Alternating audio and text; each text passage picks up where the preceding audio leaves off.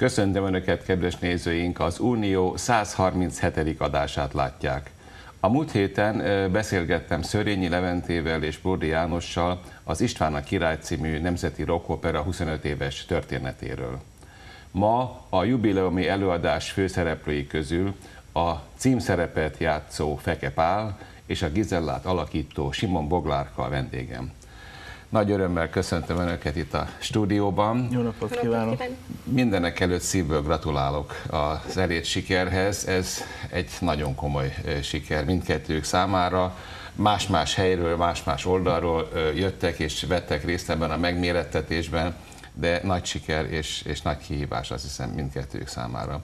Az István a király az elmúlt 25 év legsikeresebb színházi, és, színházi produkciója és zenei alkotása, népszerűsége töretlen, de hát mégis azzal kell indítsam a mai beszélgetést, hogy 25 év után az akkori generációnak tudjuk mit jelentett abban a politikai társadalmi környezetben, ami a zenére, a szövegre és, és az egész előadásra mindenre vonatkozik. De mit jelent ma az István a király a fiataloknak, a 20 éveseknek? Hát Boglárka. igen, ez egy nagyon jó kérdés, ugyanis én még akkor nem is éltem, nem is élt, amikor, így van, Boglárka még nem is élt, a Pali pedig kettő éves kettő volt. Éves volt. Egész pontosan. Hát azért számunkra is ez egy, ez egy kultusz darab, és ez egy nagyon nagy érték ez a darab, és hát benne lenni, ez egy nagyon nagy ajándék az élettől, és persze kihívás, ugyanis a 83-as ugye egy nagyon-nagyon jól sikerült darab volt, és hát szeretnénk megfelelni azért. Nagyon érdekes, mert azt hiszem, hogy mindannyiunkban és a Bogiban is, ahogy az, azok az érzések élnek, amikor erről kell beszélni, azt hiszem, ami bennem. Egy, egy olyan előadás született 25 évvel ezelőtt, ami, ami egy olyan, olyan, olyan kezdet volt, amit most 25 év után is folytatni kell. Én azt hiszem, hogy ez a rock opera, ez, ez mindenkinek a polcán ott van, mindenki szereti, mondani valóját, a zenéjét, a szövegét, mindenki oda-vissza tudja. Én azt hiszem, hogy, hogy nekünk nagyon nagy feladat és kihívás az, hogy ezt a rock operát 25 évvel az ősbemutató után úgy állítsuk színpadra, hogy annak legyen egy pici mondani valója, új, új mondani valója, egy picit ma 2008-ban legyen értelmezve. Úgy játsszuk, hogy, hogy, azt, hogy azt a mai, mai generáció is megértse, és a mai fiatalokhoz is tökéletesen eljusson. Én azt hiszem, egy olyan előadásról van szó, ami, ami, ami, ami, amiről a legnagyobb érzelmekkel tudunk csak beszélni, Magyarország első számú rockoperája, és nagyon nehéz a helyzet, hiszen Szörényi Levente, aki a magyarság történetét évtizedek óta kutatja, rengeteg új információval gazdagodott az elmúlt évtizedekben, és nagyon sokat beszélgetek vele erről, nagyon, nagyon, nagyon tisztelem őt, és hihetetlen az az energia, amivel ő a magyarság történetének az átadását próbálja mindenkinek megmutatni, és, és nyilván ő is rengeteg új információval gazdagodott, rengeteg új momentumra bukkant az 25 év alatt. És azt hiszem, hogy ez a mostani előadásban is tükröződni fog egy picit, tehát gondolok itt az István Koppány viszonyra, gondolok itt nagyon sok olyan karakterre, akik a darabban egy picit esetleg 25 évvel ezelőtt máshogy voltak eljátszva. Na erre még majd visszatérünk. Erre majd visszatérünk. Azért Levente például István király kapcsán föl, fölfedezte, vagy újra fölfedezte Koppányt, ugye, ahogy, ahogy ön is mondta. De még mielőtt belemennénk a részletekbe, azért röviden, hiszen a társulatot néző közönség már megismerhette az önök művészi tehetségét és, és képességeit, de még ha azt nem nagyon tudják, hogy kik önök, honnan jöttek. Simon Boglárka valahol Baja mellett egy kis faluban Igen, született. én Bács-Borsódon élek, kicsi korom óta már, Baján születtem, és harmadéves vegyész hallgató vagyok amúgy, és hát ez, ez, ez egy nagyon nagy lehetőség, úgymond kiugrási lehetőség, hogy, hogy sikerült ebben a darabban egy szerepet kapnom. Eddig amatőr színészként Amatőr színészként, igen. A gimnáziumunknak Baján volt egy színi stúdiója, ahol egy-egy darabot eljátszottunk, nem nagyon sokat a képzetriportot játszottuk, egy drámát, és a Valahol Európában most játszották, tehát ennyi volt összességében, és Szegeden az egyetemi színpadon is játszottam Kocsák Tibor, Miklós Tibor utazás című darabjában. Úgyhogy ennyi, ennyi az, ami mögöttem van. Népdalokat is énekeltem, úgyhogy onnan indult ez Sőt, az egész. egy népdal kört is létrehozott még a gimnázium évei alatt. Igen, Olvastam tegnap jól- este, jól ahol... Hát az interneten tájékozódik az ember. Igen, a népdalkör még mindig működik azóta is. Azóta is működik. Egy barátnőm ve- vette át a vezetést, úgyhogy hát sikerült valami maradandót alkotni ott is, úgyhogy És Feke Pál, aki egyébként profi, tehát már az elmúlt 8, 7-8 év alatt, ugye, vagy 30 fő szerepet játszott el műzikelekben, rockoperákban, tehát a szakmai közönség előtt nem volt ismeretlen egyáltalán. De mit kell még tudni Feke Pálról, Igen. az Istvánról? Igen, amikor, amikor az egészen gondolkoztam, hogy elinduljak ezen a műsoron, akkor mindenféleképpen két dolog volt meghatározó. Az egyik egy szerepálom, hiszen István a királyban 25 év után eljátszani Istvánt, a, esetleg megnyerni ezt a szerepet, az egy nagyon nagy erőt adott nekem akkor. A másik pedig az a fajta elismertségnek a megszerzése, ami, ami úgy látszik ez alatt a nyolc év alatt ö, hiába játszott el az ember nagyon sokféle szerepet, nagyon sok színházban, nem volt elég, és, és most nagyon boldog ember lehetek, mert, mert ez az egész sikerült, és az elmúlt egy év hihetetlen sok tapasztalatot adott nekem. Gondolok itt az alázatra, gondolok itt egy igazi társulat létrejöttére, és nem utolsó sorban arra, hogy a magyar televízióban született egy olyan előadás, egy olyan showműsor, ha showműsornak nevezzük ezt, ami tényleg kultúrát közvetített. Ez ahol... több, mint show Showműsor, igen, ez, mint ez egy színház, Igen. igazi színházat Igen, láttak, azt igen. hiszem a nézők jelmezében, díszletében, dramaturgiájában, és, és ennek részese lenni nagyon nagy dolog, amellett, hogy hogy, hogy nagyon sok szint meg tudott az ember magából mutatni, tehát olyan, olyan, olyan sok színű volt az adás, ahol tényleg, ahol elénekelte az ember mondjuk a Richelieu bíboros, utána énekelte Jézust, tehát nagyon sok szint meg tudtam magamból mutatni, amire semmilyen más műsor nem adott volna lehetőséget. Olyan példátlan helyzet volt ez, és ráadásul, ráadásul hát tényleg az egyik legnézettebb műsor az elmúlt évtizedekben, aminek a, aminek a ami, amire nyilván mi nagyon büszkék vagyunk, és nagyon Hát jó. az MTV ezáltal versenyképessé vált a két nagy kereskedelmi adóval szembe, olvasom, mindig megdöbbenve és mindig elgondolkozva ezeket a dolgokat, tehát eh, ilyen a világ végre, az MTV-t is annyian nézték, mint a másik két egyébként kereskedelmi adót. De hát föl kellett adni ugye a színészi pályát, vagy föl kellett függeszteni a színészi pályát olyan értelemben, hogy lemondani a, a színházi munkáról ebbe az egyesztendőbe, csak a társulat volt, idézőjebb mondom a csakot, és az István a király. Igen, azt hiszem, hogy, hogy picit nulláról kellett mindent kezdeni. Tehát amikor én erre jelentkeztem, akkor mérlegelni kellett az, hogy félreteszem az összes szerepemet, amiket eddig játszottam, a fellépéseket, amikre meghívásokat kaptam, és egyetlen egy dolog felé koncentrálok, ez pedig a társulat.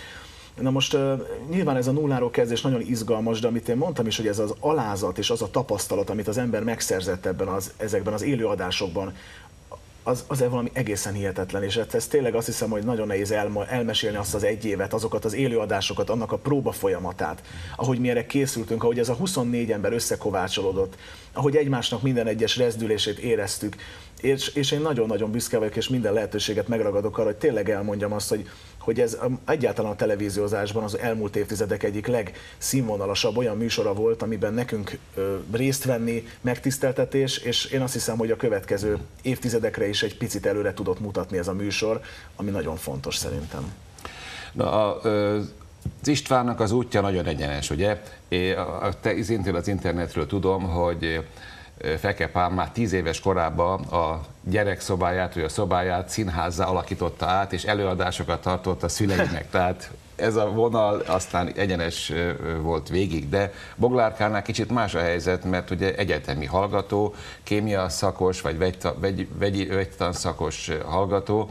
Hát most mi van az egyetemmel? Vagy azt nem akarok indiszkét kérdést föltenni, de hát nyilván most válaszút elé került, ezután a hatalmas siker után hogyan tovább, és szintén dédelgetett már gyerekkorában ilyen kis Hát én nagyon kicsi korom óta énekelek, tehát én öt, négy vagy öt éves voltam, amikor a nagymamámmal elmentem a helyi asszony kórusba, úgyhogy ott kezdtem. Mindig-mindig szerettem zenélni, énekelni, zongoráztam, fuvoláztam, és népi hangszereken is játszottam, de amikor oda került a sor, hogy, hogy gimnáziumban választani kellett, hogy mi legyen, akkor úgy döntöttünk a családdal, ugye hánytuk vetettük, hogy hogy az a, az a biztos, hogyha, hogyha lesz egy polgári foglalkozásom, és utána még lesz időm a zenével, meg hát mellette lesz időm a zenével foglalkozni. Csak hát aztán jött a, az utazás, és fölállhattam a Szegedi Nemzeti Színháznak a deszkáira, és ott énekelhettem sok-sok ember előtt, és akkor valami megmozdult, hogy bizony lehet, hogy, lehet, hogy inkább ezt a pályát kellett volna választanom, mert közelebb áll a szívemhez. Hát ez látszik az, közelebb áll. Annál is inkább, mivel sokszor észrevettem, hogy sokkal könnyebben tanulok meg egy dalszöveget, vagy egy szövegkönyvet, mint egy, mint egy, mint egy képletet, vagy mint hogy vizsgára kell készülni. Igen. Hát, ez jó. Most négy tantárgyat vettem föl ebben a fél évben, előadásokat, amire nem kötelező bejárni, de végül úgy döntöttem, hogy, hogy ezt a fél évemet megpróbálom töröltetni, és akkor egy évet halasztok, így nyerek időt. Látni fogom, hogy, hogy milyen munkabeosztás, vagy milyen időbeosztásban kell dolgozni, vagy milyen szerepeket kapok, vagy miket, hova fogunk menni, mit fogunk csinálni, és ha, ha lesz időm, és azt látom, hogy van időm mellette, akkor levelező. Hát én nem kívánok jó Valamennyire lenni, befejezem, de nem de... fogja visszaengedni önt a művészet, és a színpad nem, nem ön fogja eldönteni, egyszer nem fogják visszaengedni a közönség, és a rendezők nem fogják visszaengedni. Hát az igazság, hogy nem is nagyon szeretnék visszamenni. Hát jó. Csak hát el kellett rajta gondolkodni, hogy hogy mit csináljak vele, de hát majd... Most legautentikusabb vélemény az önöktől fog most jönni a társulatot illetően, mert a képernyőről úgy láttuk, hogy egy csodálatos csapat, ami ott összekovácsolódott. Múlt héten a Levente és a Tini ezt megerősítette. Na de önök belülről, akik bent vannak, és akik nyertek, és esetleg haragosai vagy, vagy, vagy irigyei lehettek a többiek, szóval tényleg olyan csodálatos a csapat? Én azt hiszem, hogy, hogy, hogy, hogy ezt nyugodt szíven mondhatjuk, hogy itt amikor tőlünk megkérdezték, vagy tőlem megkérdezték, hogy mondjak már olyan dolgot, amikor valaki megütötte a másikat, meg összevesztek, meg kicsinálta, meg nem tudom, nem volt ilyen. Egyszerűen olyan összetartás van a csapatban, tényleg, amit az elején, amit, amit mondott is, hogy, hogy mindenki máshonnan jött mi magunk is, a többiek is. Van, aki egy teljesen hétköznapi foglalkozásból csöppent a televízió képernyőjére, van, aki, aki már belekóstolt a színházba, de mégis én azt hiszem, hogy itt, itt mindenki a legnagyobb szeretettel volt a másik felé, segítettük egymást, igazi társulat jött létre, Úgyhogy én nem is tudok olyat mondani, ami, ami, ami izgalmas, vagy, vagy olyan pontja a dolognak. Nyilván az, azért nagyon fontosnak tartom, ez bebizonyosodott akkor is, amikor szerepeket elnyerték bizonyos emberek, ez egy szubjektív dolog. Az, hogy a néző kit szeret, kit nem szeret, kinek szimpatikus, kinek nem, van, aki világszínvonalú teljesítménynek tartja, a másik azt mondja rá, hogy ugyan már. Tehát én azt hiszem, hogy ez így van jól, nem kell mindig mindenkinek megfelelni, de nagyon nagy dolog az természetesen, hogy ebben, ebben az egész televíziós műsorban mi úgy kerültünk ki, hogy, hogy nyertesek vagyunk, és megkaptuk a szerepeket. Boglárka is így érzi a társulatot? Igen, igen, igen. Azt azért el kell mondani, hogy ugye nekünk mindig egy hetünk volt arra, hogy, hogy, hogy egy, egy élőadást frappánsan Igen, ez fantasztikus teljesítmény, és... hihetetlen energiát és koncentrálást. Igen, Bocsánat, és hogyha mi egymás ellen lettünk volna, és ha lettek volna konfliktusok, ezt biztos vagyok benne, hogy nem jött volna össze. Tehát nekünk segítenünk kellett egymást, szeretnünk kellett egymást. Ez a Töreki Andreával és uh, Molnár Ágnes énekléssel olyan szépen adtak elő több esetben is a népdal egyveleget például, meg mást is, hogy öröm volt nézni magukat. És akkor az embernek fájt a szíve, hogy ezek közül kettő ki fog esni, és mi lesz velük, de hát végül is ott vannak, ők is szerepet Igen, és el kell mondjam, hogy, hogy mi Andival az elejétől kezdve nagyon jó barátságban vagyunk, és Ágival is, és ez a verseny, tehát a Gizela döntő után is így maradt. Nagyszerű. És ez, ez egy Na akkor beszéljünk dolog. az előadásról. Egyrészt ugye, hogy, hogy készülnek? Naponta van próba, nagyon nagyon, ugye most már közeledik, hát 18-án, ugye ez, ez körülbelül 11 nap mától számítva.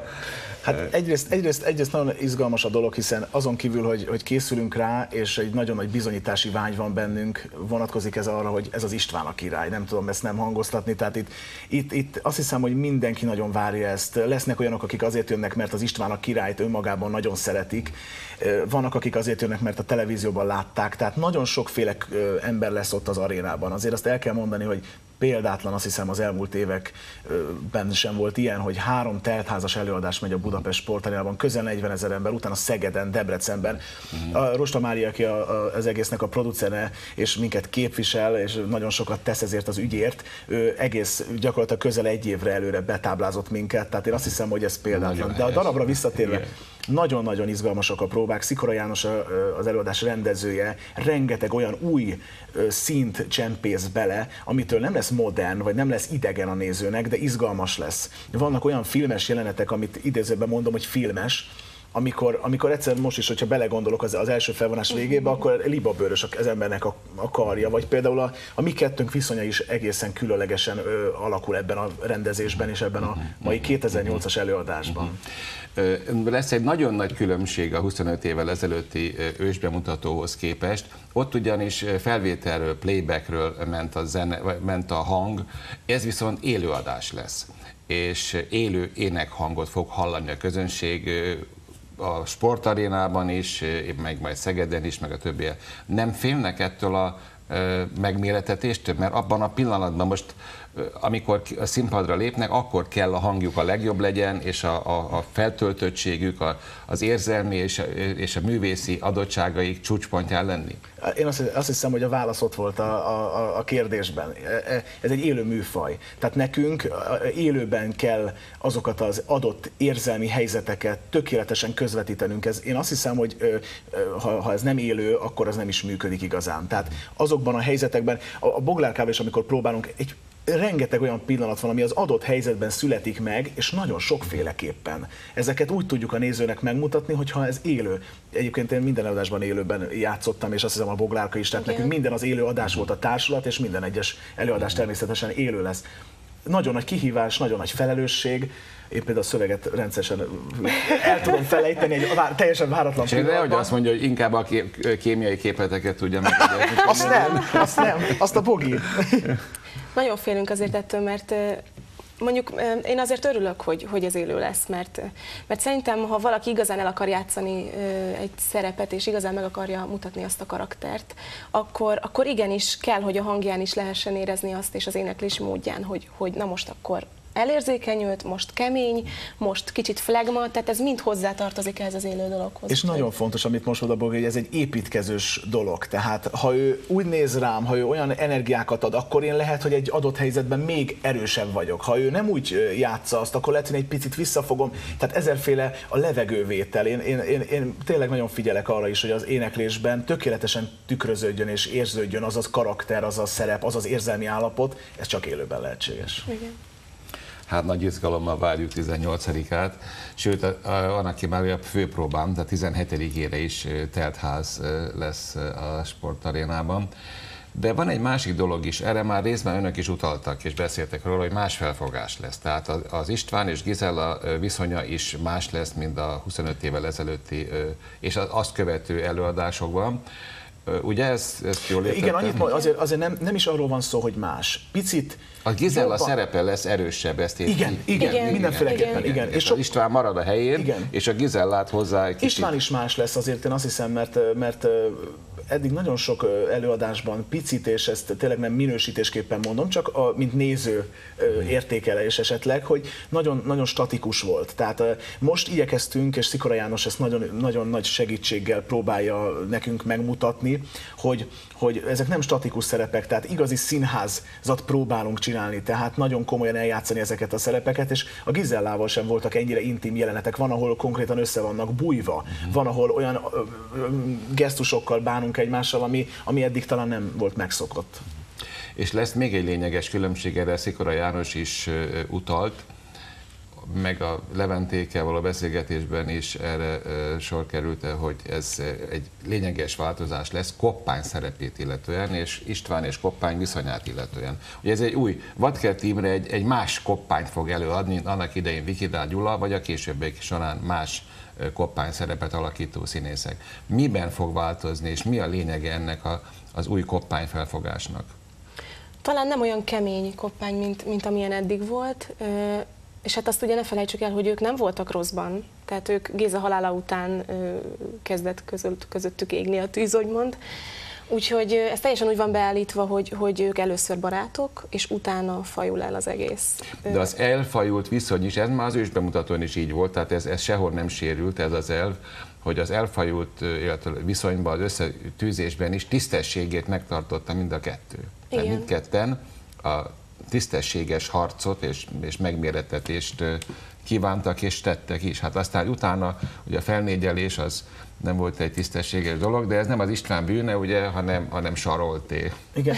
Én a... Ezért Sarolt elég negatív figurája a darabnak, én el hát, nézést kérek Éderenikőtől. Nem, de Éderenikő nagyon de, hihetetlen ez... energiával játsza egyébként, Igen, most a próbákon is, tehát nagyon-nagyon erős, de amit, amit talán jobban lehet érzékelt, amit a Bogi is mond, hogy, hogy, hogy itt a darab elején két teljesen egyforma, mint két tojás áll István és Koppány. Szinte azt mondom, hogy ameddig én nem kezdem el énekelni a, az első duettünket, addig nem is derül ki a nézőnek esetleg az, hogy most mely, ha, ha nyilván tudni fogják, de, de nem, nem derül ki az, hogy melyik a Koppány és melyik az, István, és az, az, az előadás dramaturgiai vonalon, hogy haladunk a vége felé, akkor derül ki az, hogy a kettő egy picit elágazik. De hozzáteszem, ebben a koncepcióban, amit a Bog is mondott, nem, nem arról van szó, hogy a Koppány egy ilyen félmeztelen, nagyon határozott, nagyon kemény, nagyon harcias, nagyon ilyen viaskodó jellem lesz, hanem én azt hiszem, hogy az Imre koppánya az egy sokkal ö, ö, elegánsabb, ö, gondolkodóbb koppány lesz, és az Istvánt is én igyekszem a lírai vonal mellett nagyon kemény, határozottra venni, hiszen,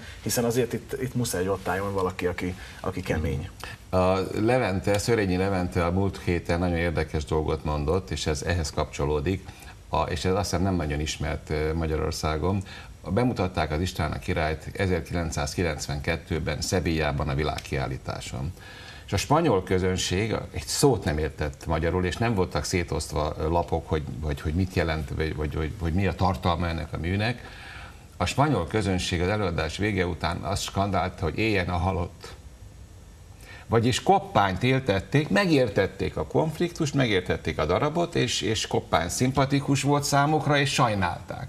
Érdekes, hogy ennyire a zene és az előadás tudta közvetíteni a szöveg értése nélkül a közönségnek kopány szerepét. Én, én nagyon fontosnak tartok egy dolgot, és ezt a legkomolyabban, legőszintébben mondom. Én 26 éves vagyok, és nagyon érdekes az, hogy eddig az ember nem foglalkozott, én bevallom őszintén, ennyire a magyar történelemmel, hogy honnan jövünk, hova megyünk és Szörényi Levente, akinek ez az élete, aki eretette fel az egész életét, hogy ezt kutassa, ezt erről beszél, erről tart előadást, erről jelent meg most egy, egy könyve, Színház és Történelem, amit én az elejét a végig igyekszem elolvasni, és, és amit tőle tanulunk, ahogy ő ezt, ezt próbálja nekünk átadni, az valami egészen különleges. És, na, és ez olyan, mint egy jó bor. Most bocsánat, hogy egy ilyen példát mondok. Eddig nem értékeltem igazán a fehér vör, vagy a száraz vörös bort, és hogy az ember korosodik, nyilván egyre jobban értékeli. Mondják ezt azok, akik... Én már nagyon értékelem.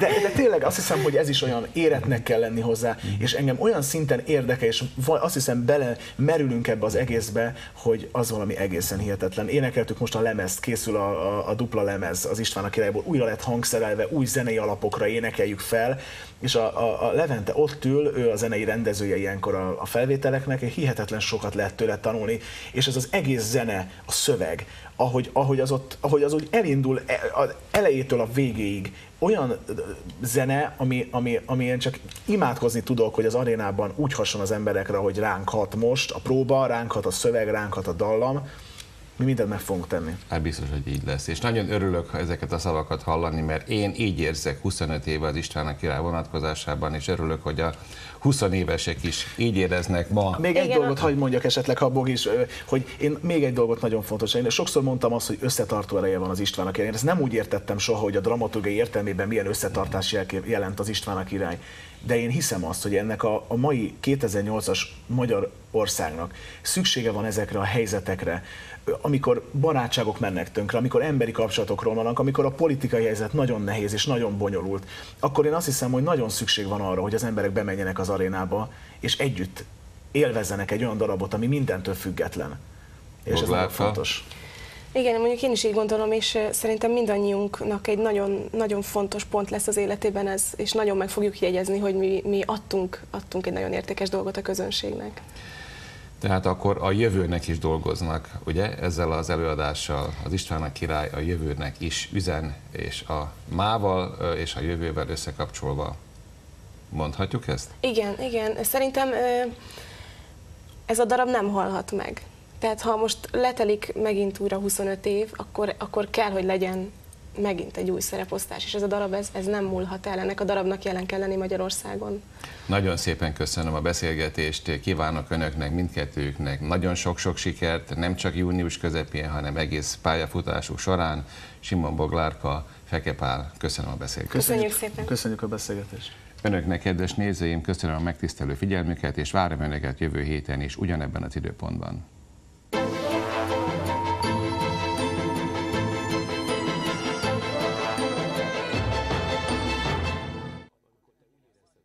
Támogatunk az Enikő virágüzlet.